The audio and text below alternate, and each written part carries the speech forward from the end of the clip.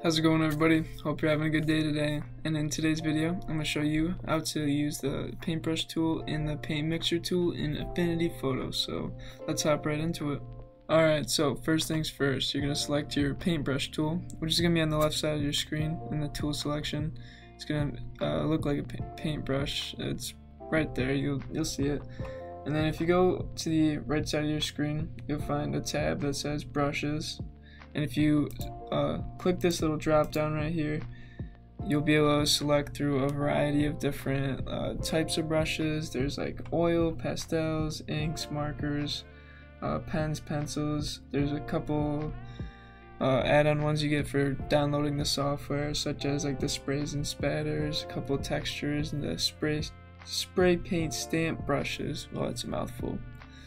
So I'm gonna pick let's just go with uh, ink for now. So as you can see these inks, the different brush pattern for the inks just showed up right here. So we'll just look through these. We'll go dynamic rough ink 02, so it's this one right here. And we'll just do the black color. We Our width for our brush size is 64 pixels. You can find that up in the top left corner. Your opacity will be 100% to start off and same with your flow. So if we start brushing, just right, I mean left click, and there you go. Pretty simple. Um, you can play with tons of different brush uh, strokes and whatnot that Affinity already has, or you can download uh, more that you seem fit. So I want to show you guys a quick trick. So um, to make your drawing of your lines and your brush strokes or whatnot a little bit straighter and cleaner, what you can do is turn the stabilizer button on so it'll normally look like this without check, check mark in that box. So go ahead and select that. So when you're drawing or whatever, it's gonna look a lot more like flowy and you're not gonna have as much rough edges.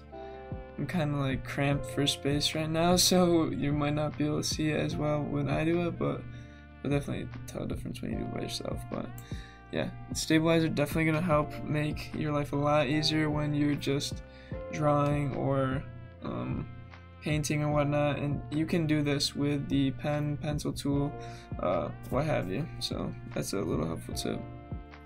Alright, so when you're mixing colors or whatnot, you're gonna go to the paint mixer brush. So this will be your next step in your uh, slew of brush, uh, whatever you want to call it.